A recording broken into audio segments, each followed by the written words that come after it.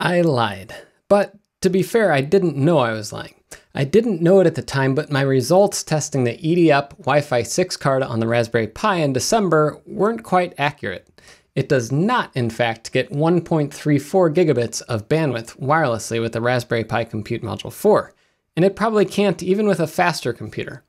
I'm usually very thorough in my benchmarking, and if there's ever a weird anomaly, I try everything I can to prove or disprove the result before sharing it with anyone.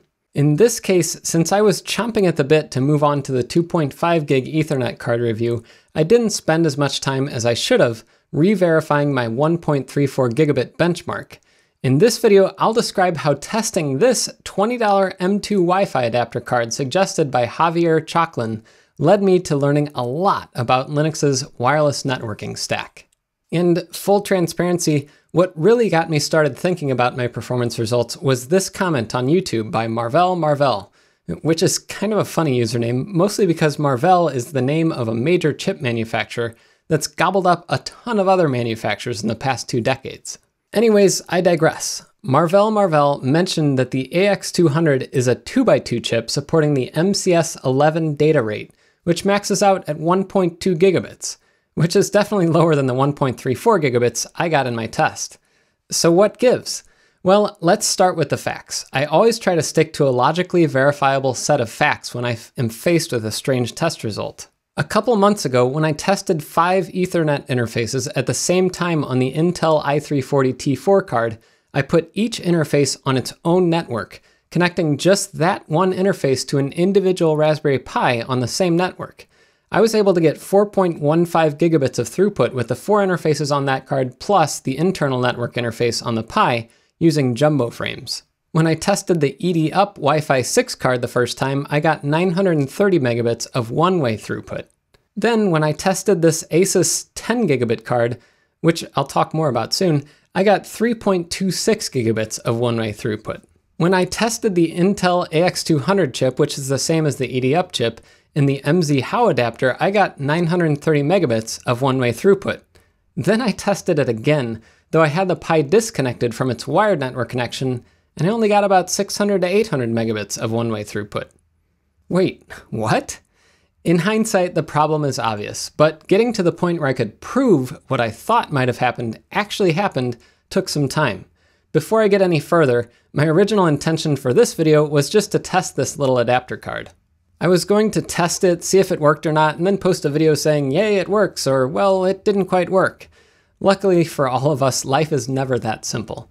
So anyways, I guess I could at least say, yay, it works. If you want to adapt an M.2 Wi-Fi and Bluetooth module that you might have laying around, maybe from an old broken down laptop or desktop computer, this little MZHOU adapter works a treat, and I have a link to it in the description. Anyways, getting back to the problem I uncovered, I found it odd that both the Wi-Fi tests got around 930 megabits when I tested them the first time.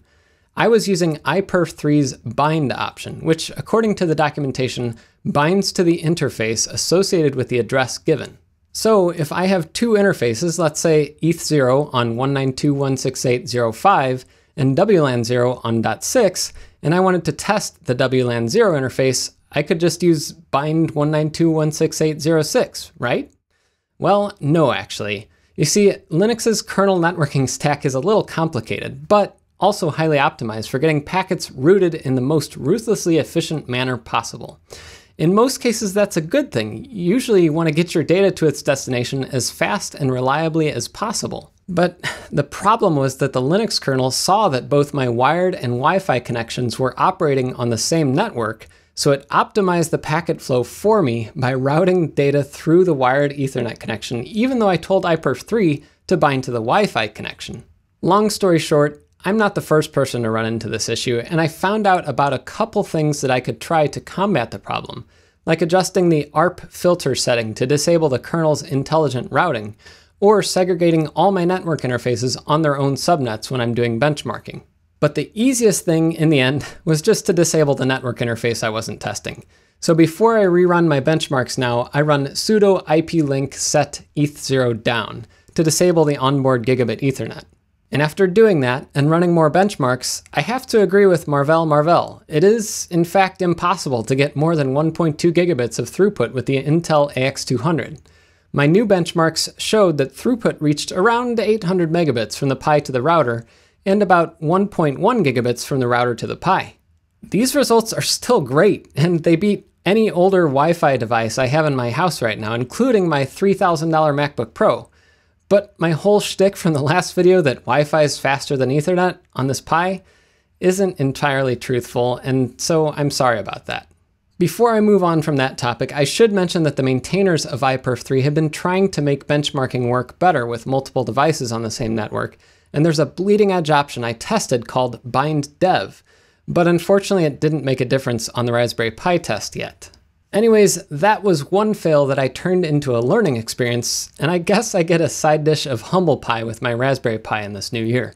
In the middle of all this benchmarking, I decided to finally dig in and learn more about the mysterious WPA supplicant thingy that we all use to control Wi-Fi on our Raspberry Pis, or in Debian in general.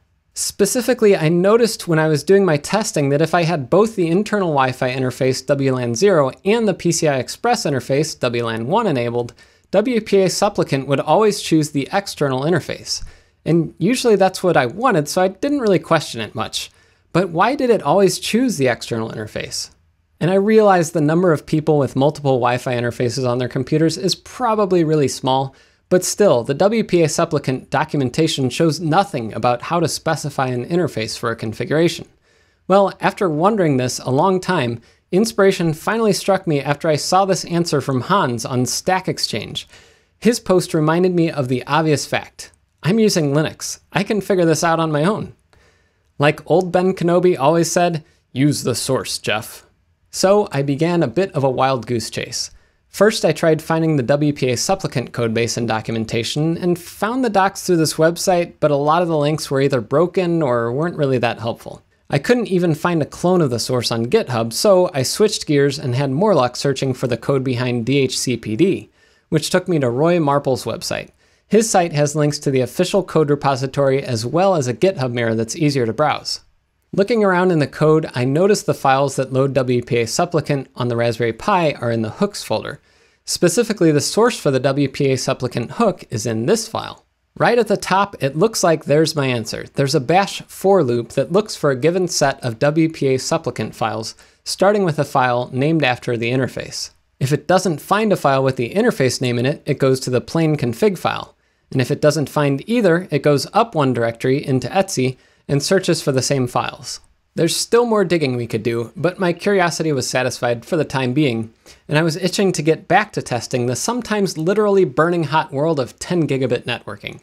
But getting back to the original topic of this video, the MZHOU adapter card, I'm actually planning on testing a Google Coral AI TPU with this card, and that's the main reason I bought it in the first place. But it's just a happy accident that I learned a ton about Wi-Fi and Linux networking in the process of testing this boring little adapter. If you learned something today, please consider subscribing and supporting me on GitHub or Patreon. Until next time, I'm Jeff Geerling. A ton of other chip manu... manu um, um, drat. Specifically, the source for the WPA supplicant... Ah, and I was itching... I was itching and coughing, apparently. Uh, I mean, I don't have to say Linux. I'm putting words in where they aren't. Please consider subscribing and supporting me on GitHub or Patreon. Get, uh, my brain and mouth are not really connected today.